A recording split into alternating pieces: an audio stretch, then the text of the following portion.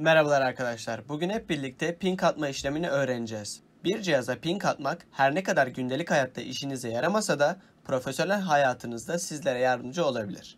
Ping atmanın genel amaçlarından sizlere çok kısa bir şekilde bahsetmek ve hemen ardından ping atma işlemine geçmek istiyorum.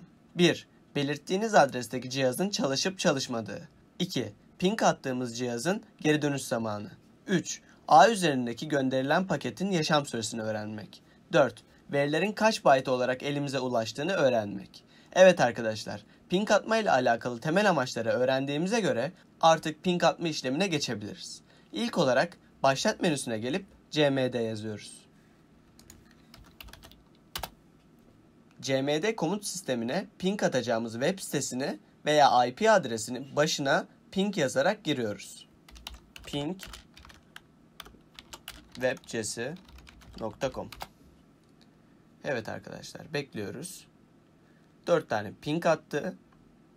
Ping'in IP adresi, byte'ı, gönderilme süresi ve gecikme süresi. TTL gecikme süresidir. Gördüğünüz gibi gönderilen 4, geri dönen 4, kaybolan 0. Kaybolmuş pingimiz hiç bulunmamaktadır. Minimum geri dönüş zamanı 16 milisaniye, maksimum geri dönüş zamanı da 80 milisaniye. Ortalama 34 milisaniye. Evet arkadaşlar, ping atma ile alakalı tüm bilgileri sizlerle paylaştık.